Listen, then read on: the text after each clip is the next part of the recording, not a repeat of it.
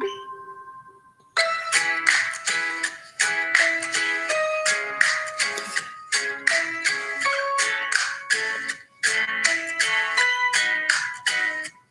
May you have auspiciousness and causes of success. May you have the confidence to always do your best. May it take no effort in your being generous. Sharing what you can, nothing more, nothing less. May you know the meaning of the word happiness. May you always lead from the beating in your chest. May you be treated like an esteemed guest.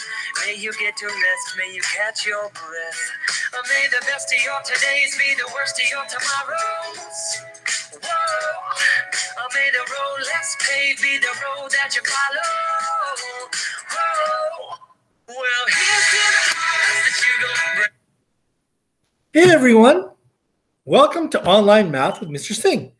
I'm your host, Mr. Singh. I can't wait to connect with you guys all again this week as we start some online math lessons. Um, you've been given a schedule that has your time, and um, I'll be sending you the link to your Google Meet uh, right before the meet's supposed to start. So keep an eye on your email, and well, we'll be ready to have some math fun this week.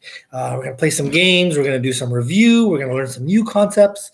Uh, and I just can't wait to see all your beautiful faces this week. But in the meantime, I'm going to leave you with a couple math jokes, okay, for good old times. All right, first one. Why did the two fours skip lunch?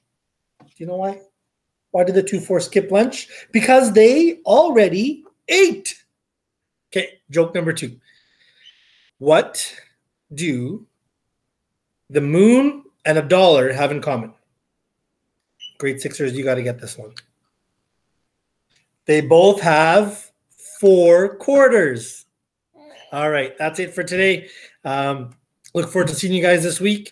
Keep an eye on your email, check School Zone, and we'll have some math fun this week. Okay, bye, guys. See you.